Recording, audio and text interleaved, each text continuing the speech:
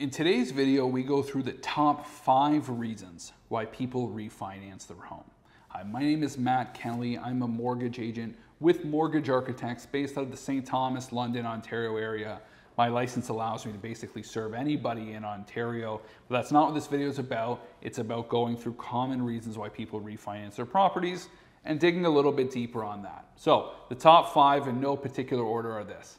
One, to get a lower mortgage rate. Two, to pay off their debt. Three, renovate their home. Four, buy another property, whether that's a cottage or whether it's an investment property. We'll just kind of chunk those two together. And the five is to kind of boost their retirement savings. Now, I like to take those three and basically put them into three categories. The first category is cash flow savings. The second one is renovations. Sure, you can figure out what that includes. And the third one is growing your wealth or improving your net worth. So let's start off in cash flow savings. Let's talk about getting a lower rate.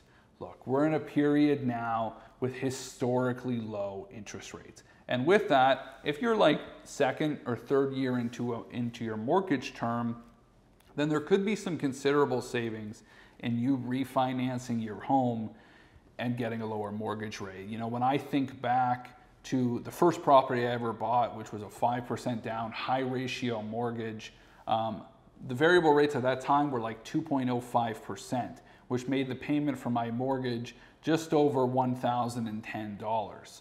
Today, that same mortgage is offered around 1.35%, which would have made my payment about 930 bucks a month, which would have saved me about five grand over the course of my mortgage. So decent little savings and cash flow.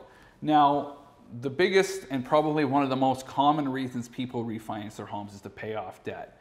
It's sometimes the reason why people have a negative association um, with refinancing. It's completely unfair, to be honest with you, because let's face it, we know life gets messy. And sometimes the bills accumulate in that process and we feel like we're drowning why should we be hesitant to reach out and refinance our debt? You know, I had a couple who they had $150,000 in consumer debt. When you tacked on their mortgage, their payments at minimum were $3,900 a month. I was actually able to save them over $2,400 a month. Yes, their mortgage went up, but they still net came out $2,400 a month ahead, which was a huge uptick um, in their cash flow each month helping them to kind of rebuild some savings, save towards retirement, and kind of just get overall in a better financial situation. So let's shift out of cash flow savings.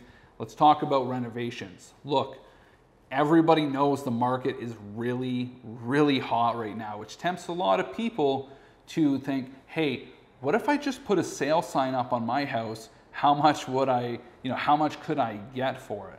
A lot of times people ignore the fact that they still have to buy another home. And so with that, they're gonna now throw themselves in the pool with all the other people that wanna buy homes with a record low level of supply. So ask yourself, I mean, do you like your current home? Do you like the location? Do you like the home itself? As long as you like the location, you can change your home. So why not consider renovating your home? Maybe it's updating your kitchen or your bathroom, maybe it's both, Maybe you need a new roof.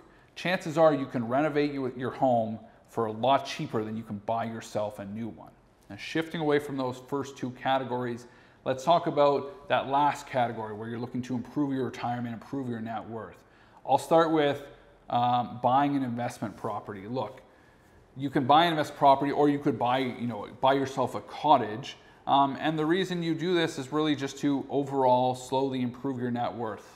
I have some clients who have hit absolute grand slams when it comes to investment properties. We're talking they're making $2,000 plus a month in netly in net cash flow.